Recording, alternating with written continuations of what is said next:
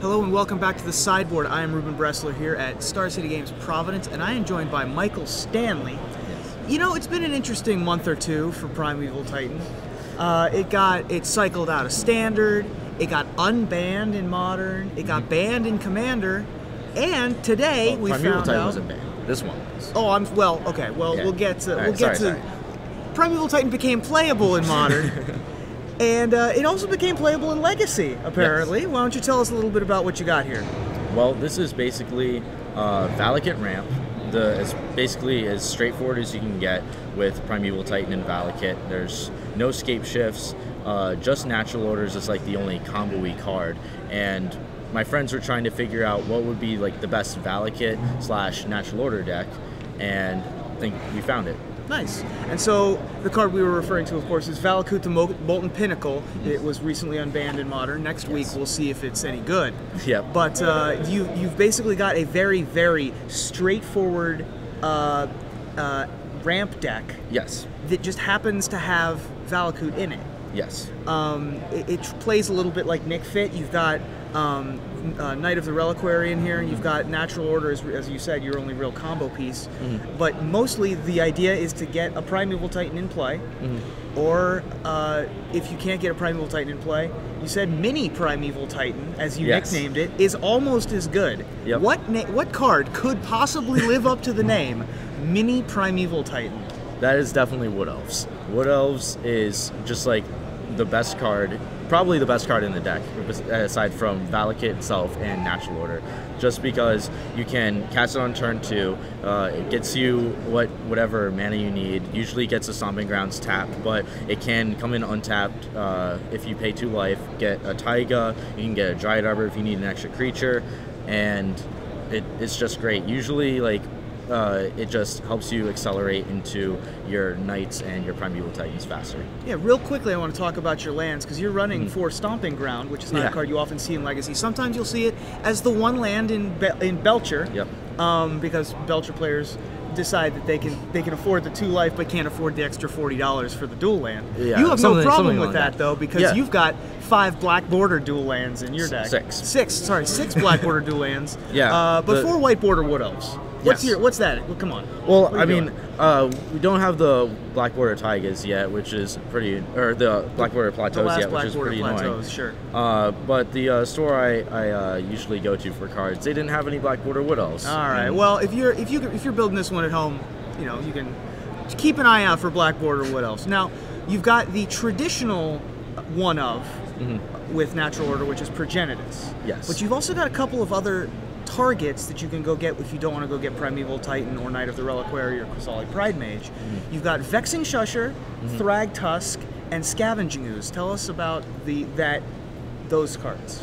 Well, Ooze is really good. Just it, it's one of the best creatures in Legacy. It uh, works against Maverick, uh, exiling their lands. It works against Snapcaster Mage. It's great versus Dredge Game One. Uh, it's just a really, really solid card, and I knew that one in the main deck is just a necessity, and it's worked out just like it, it has in Maverick. It's basically just a really good creature. It's a threat on its own. Um, Thragtusk, on the other hand, was my choice over the third Vexing Shusher, which my friend is playing. And I thought that uh, we want some life gain uh, versus things like Rug Delver, which can just like burn you out sometimes, and a creature that is just really solid to get off of Zenith if your Primeval Titans aren't available or your Progenitus aren't available. And so it's a solid creature, it's a huge body, you can just play it on its own, and then Miracles has to deal with it. Uh, Basically, every deck has to deal with it, and then you just get value out of it when it dies.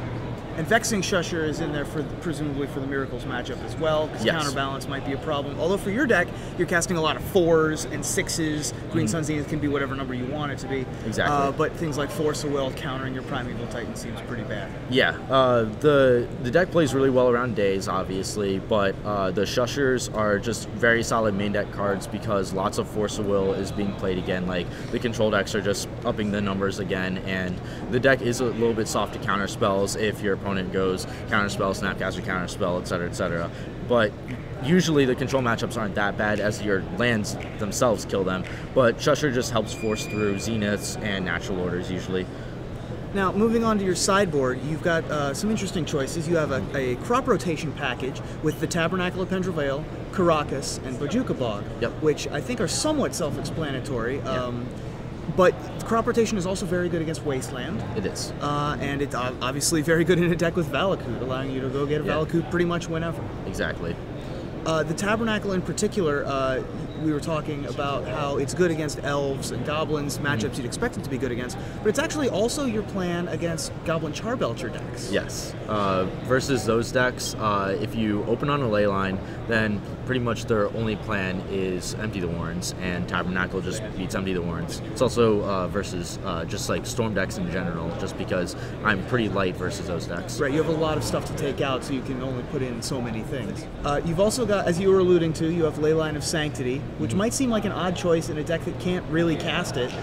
Um, tell us about why you went with Leyline over some of the other options that you have for anti-storm hate. Mm-hmm. Uh, well, it couples really well with the Tabernacle and crop rotation, as I said, versus uh, like Belcher and TES.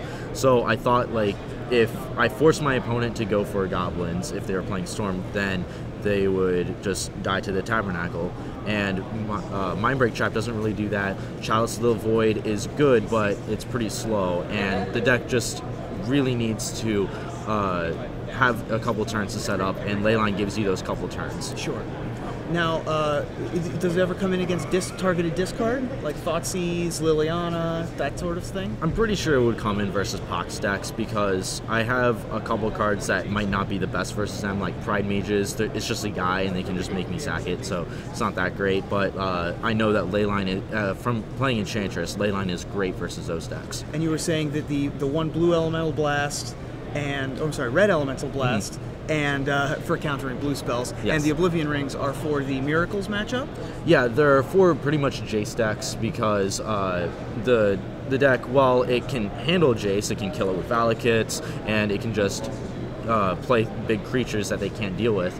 Uh, it still can't really come back from the card advantage that Jace provides. Sure. So getting an O ring on a Jace or just having the red blast for a key key counter spell or just killing a Jace is pretty pretty effective. Excellent. Well, I would I would love to see Primeval Titan decks at the top of Legacy tournaments in the very near future. Thank you for joining me in the sideboard. Thank you.